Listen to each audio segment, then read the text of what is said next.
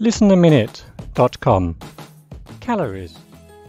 Do you ever think about or worry about the number of calories you eat and drink every day?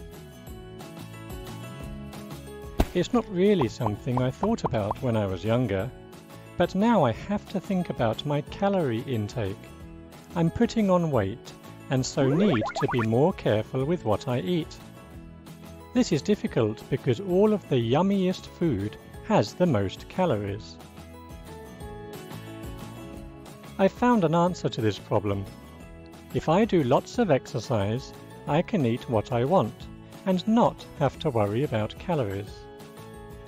I burn off 500 calories when I jog for an hour.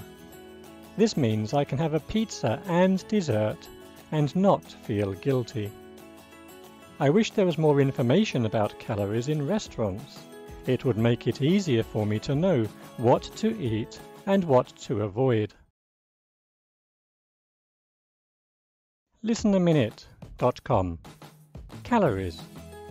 Do you ever think about or worry about the number of calories you eat and drink every day? It's not really something I thought about when I was younger, but now I have to think about my calorie intake. I'm putting on weight and so need to be more careful with what I eat. This is difficult because all of the yummiest food has the most calories. I found an answer to this problem. If I do lots of exercise, I can eat what I want and not have to worry about calories. I burn off 500 calories when I jog for an hour.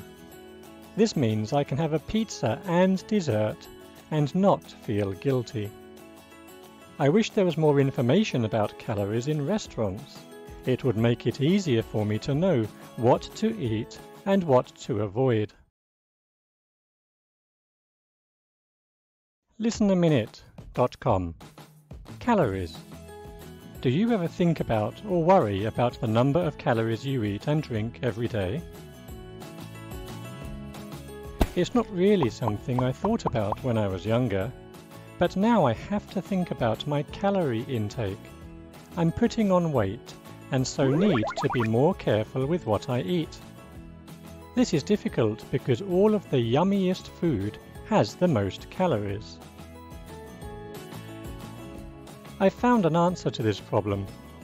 If I do lots of exercise, I can eat what I want and not have to worry about calories. I burn off 500 calories when I jog for an hour. This means I can have a pizza and dessert and not feel guilty. I wish there was more information about calories in restaurants. It would make it easier for me to know what to eat and what to avoid.